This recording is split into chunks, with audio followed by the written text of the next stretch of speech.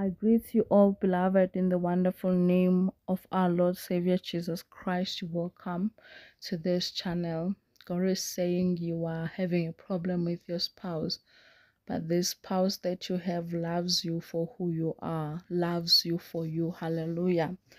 Deep down your heart, you want this person to change and become a pastor but whatever that is doing doesn't represent the kingdom of God. You have a challenge now to choose from somebody who is a pastor or from somebody who is a godly person and the person who is treating you the way you are or for who you are.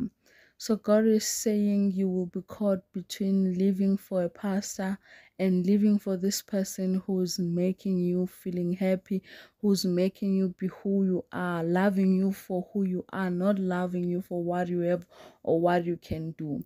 So God is saying somebody is caught in the middle of where to go exactly.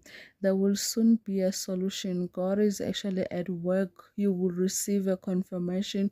You will receive a sign of where to go. Stay blessed and continue to watch this channel in Jesus' name. Amen.